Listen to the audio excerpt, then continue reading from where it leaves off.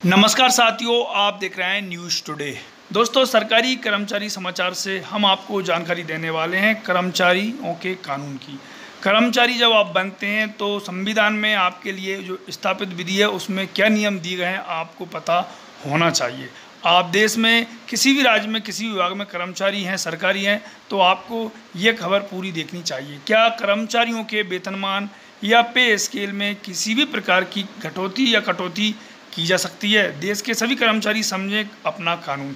तो चलिए जान लेते हैं लाइट्स को तो दोस्तों वेतनमान या पे स्केल में किसी भी प्रकार की कमी या कटौती या घटौती संबंधित कर्मचारी को युक्ति युक्त सुनवाई का अवसर प्रदान किए बिना नहीं की जा सकती है। लेकिन ज़्यादातर मामलों में अधिकारी धड़ल्ले से ऐसा करते हैं क्योंकि वो जानते हैं कि उनका अधीनस्थ कर्मचारी उसके कानूनी अधिकारों के प्रति सतर्क नहीं है।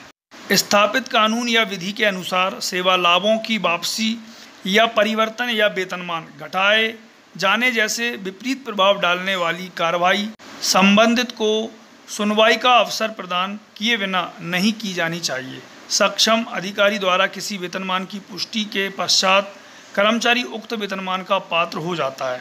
उपरोक्त परिस्थितियों में वेतनमान का घटाया जाना विधि विरुद्ध एवं संविधान के अनुच्छेद 311 एवं प्राकृतिक न्याय के सिद्धांत का उल्लंघन माना जाएगा।